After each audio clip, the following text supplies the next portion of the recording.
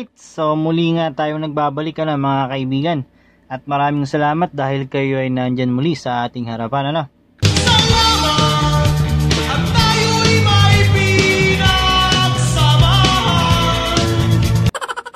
Upang ah, ako'y samahan sa ating talakayan ngayong araw. Ano? At ayun na nga, ang ating pag-aaralan ngayong araw ay ah, tungkol sa mean, variance, and standard deviation of a discrete random variable. Ano? So, ah bigay ko na yung mga formulas na gagamitin natin in solving for our topic for today.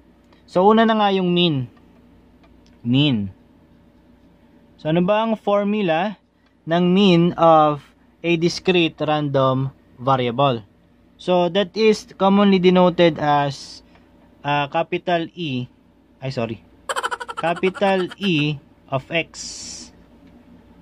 At minsan kasi tinatawag yan din yung tinatawag nating expected value. Kaya capital E yung ginagamit na notation for our mean. Alright? Expected value that is equal to the summation. Summation of X multiply by P of X. Ano ba yung X? That is our uh, outcome of value of the random variable. Whereas yung P of X naman, that is our probability of the outcome X. Kumbaga, ano ba yung probability daw? P of X, ay yung probability na lalabas yung variable X. So again, our formula for our mean of a discrete random variable ay equal sa uh, summation of x multiply by p of x or yung probability natin. Alright? Next is the variance. Variance. Sulat ko lang ha. Variance of our topic for today. So, ano may variance natin?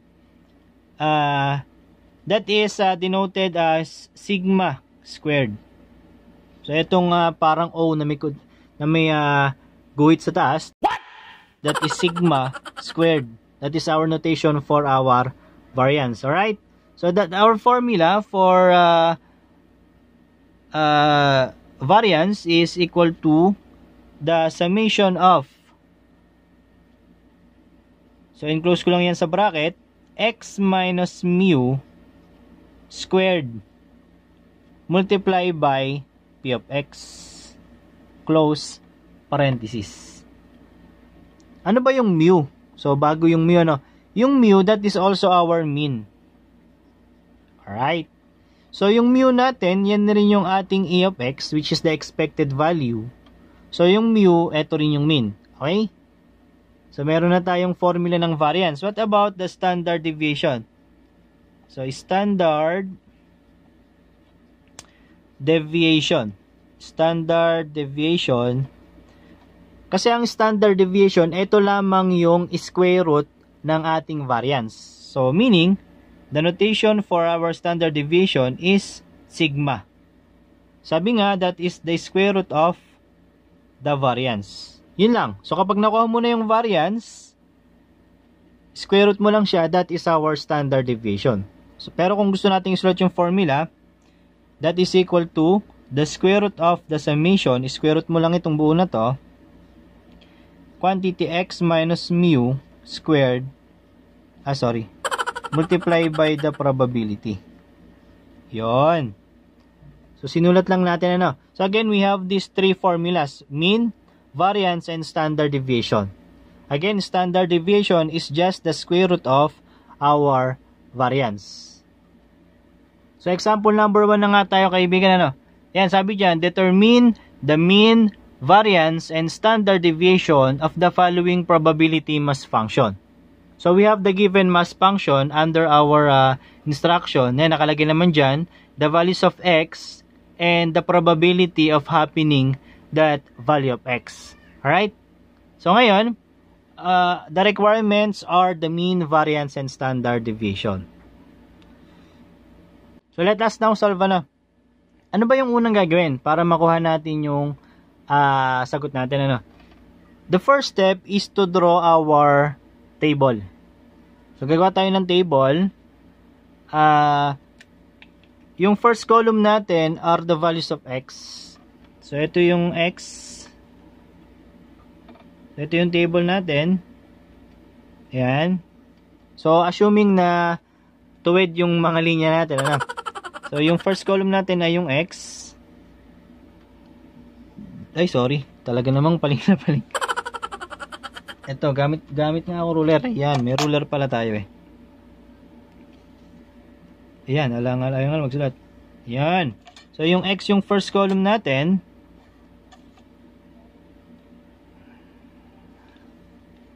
Then, yung second column natin is our probability sa P of x. Given naman yung dalawa na yan, so susulat na lang natin yan mamaya. Ano pa yung mga ina kailangan nating hanapin? So, ayan, ano. Ang susunod na table natin is the product of the two. Yung x, p of x. Yung product ng dalawa na to. Then, yung susunod na table natin, na column, sorry, yung susunod na column natin, ay uh, yung x minus mu. Alright, the next column, ay yung square ng x minus mu. x minus mu squared. And then, yung last column natin ay yung product nung p of x tsaka nung x minus mu squared. Dito, hindi, baliktad. So, copying ko yung itong x minus mu squared multiply by the probability. Sarado lang natin. Yan. So, lagay ko lang yung mga given natin ano. Yung P, yung x tsaka yung p of x. Ano ano ba yan? No? So 1 to 6. So 1 2 3 4 5 and 6.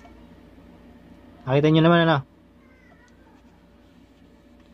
And then yung mga uh, corresponding probabilities. So, ano ngayon nasa given natin? 0.15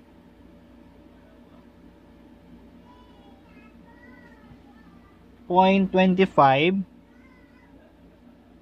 0.30 ano ano pa nga yan? 0.15 0.10 and lastly 0.05 right So, double check natin na 0.15, 25, 30, 15, 10, and 0.05. Alright, so next column natin, kasi di ba ang hinahanap natin ay yung ating mean, variance, and standard deviation. Eh, alam naman natin na ang formula for our mean, ito na lang mu gagamitin ko ha, is the summation of x, p of x. Kumbaga, yung sum daw nung product ng x tsaka p of x. That's why, kinuha natin yung x multiply by p of x. So, after natin makuha yung product ng x and p of x, kapag inad natin yan, that is our mean. Alright? So, mu equals, dito, gagawa ako ng linya dito. Sorry. Yan. Tapos, ito yung summation etong doon last row na to. Ito yung summation. Right? So, ngayon, uh, multiply muna natin. Yung dalawa na yan. So, using our uh, mahiwagang calculator, 1 multiply by 0.15, that is 0.15. Then, 2 multiply by 0.25, that is 0.5 or 0.50. And then, 3 multiply by 0.3 that is equal to 0.9. 0.15 multiply by 4 that is 0.6. Then 5 multiply by 0.1 that is 0.5. And then 6 multiply by 0.05 that is 0.3. 0.3. Now, add down natin ito. 0.15 plus 0.5 plus 0.9, 0.6 plus 0.5 plus 0.3. That is equal to 2.95. So, yung sum ng xp of x, that is our mean. And that is our final answer for the mean. Yan yung unang hinahanap natin. eh. So, meron mean na tayo. No? Since meron na tayong mean, makukuha na natin yung column na to. Kasi yun yung kailangan eh, x minus mu eh. So, ibig sabihin, itong mga values na to, minus dito. Okay? So, yung una, 1 minus mu, yun yung sagot dito. Alright? So, sol solve lang natin, ano? 1 minus 2.95, that is equal to negative 1.95. Then, ganun din yung susunod na mga values natin. 2 minus uh, 2.95, that is equal to negative 0.95. Then, 3 minus 2.95, that is 0.05. Next is 4. Medyo umaalo na pala. So weird. 4 minus 2.95, that is 1.05. Next is 5 minus 2.95, that is 2.05. Then 6 minus our mu is 3.05. So, nakuha na natin yung ah, column na to. Next column is square mo down tong mga numbers na to. Kasi yun yung sabi eh. x minus mu squared. So, i-squared lang natin tong mga to. So, meaning, negative uh, 1.95 square, that is equal to 3.8025. Then, ganun din yung mga susunod natin, ano? 0.95 square, since that is square naman, so positive, 0.9025. Next, 0.05, we have uh, 0.0025. 1.05 square, that is 1.1025. 2.05 square, we have 4.2025. And 3.05 square, we have 9.3025. Alright, so next column, yung ating last column is the product of x minus mu squared and the probability. Kumbaga, ito, multiply natin dito. Alright, so itong mga numbers na to, multiply natin sa mga numbers na to. That is our last column. Right? So, 3.8025, ito yan, multiply by our probability, 0.15, that is equal to 0. Uh, siguro hanggang 4 decimal places, 0.5704. Next, 0.9025 multiply by 0.25. That is 0.2256. Next is 0.0025 multiply by 0.3. That is 0.0008. 1.1025 multiply by 0.15 that is 0.1654 and so ano na?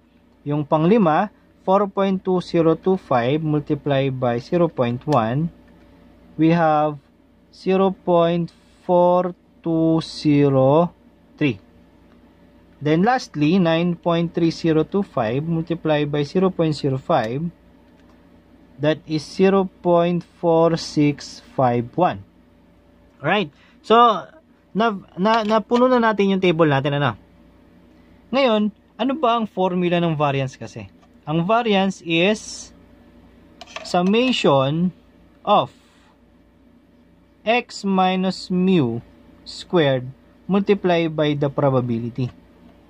Kumbaga, 'di ba? Et etong uh, x minus mu squared multiply by probability, ito yun eh. Ito yung column na yun eh. SM daw. So, i-add lang natin itong mga to. Alright?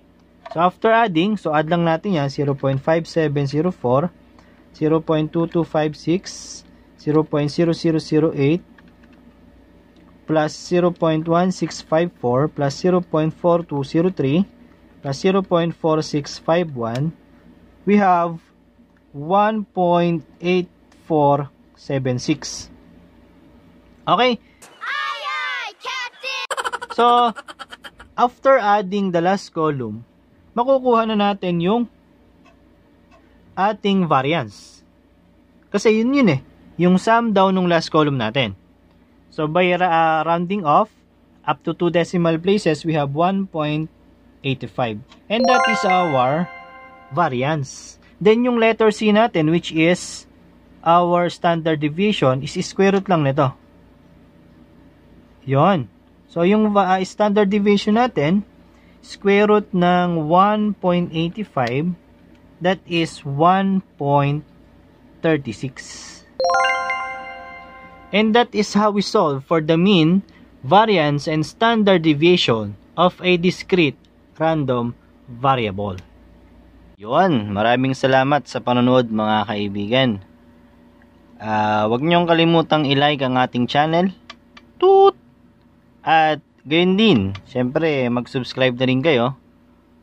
Toot! At wag niyo rin kalimutan na pindutin yung ating bell upang makareceive ng mga notification sa mga susunod nating videos. Toot! Maraming salamat! So, ayun nga mga kaibigan, ano?